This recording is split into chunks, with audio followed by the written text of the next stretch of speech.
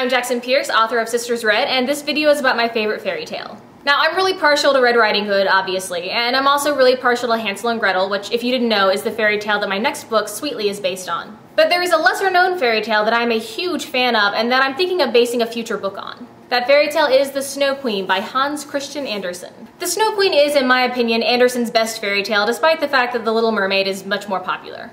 The Snow Queen is about this little girl named Gerda whose best friend Kay gets these shards of ice in his eyes and they make him like a horrible, mean, terrible kid.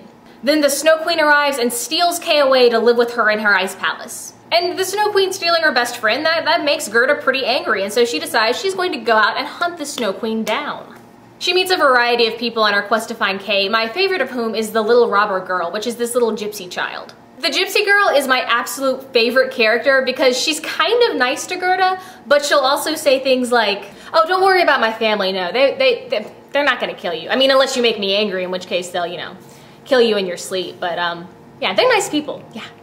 And that kind of upsets Gerda, so later to comfort her, the little gypsy girl says, you know what, actually, if, if I get angry at you, I'm not gonna let my family kill you after all, you know, that would just, that would be awful, so um, if I get angry, I'll just kill you myself, all right? Is, is that a good agreement, yeah?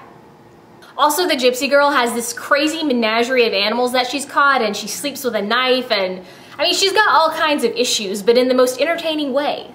Anyway, eventually Gerda does save Kay and it's all happily ever after. I like this story for a lot of reasons. For starters, the female main character isn't beautiful and perfect and demure and shy, which is very common for women in fairy tales. She's clever and she's brave and she's loyal, and I really respect that in a fairy tale. And also, I really like that she's not trying to rescue a handsome prince, she's trying to rescue her best friend. You really should read it, and don't go read the Wikipedia page because the summary they have there is crap. Trust me, it, like, it's a really good story.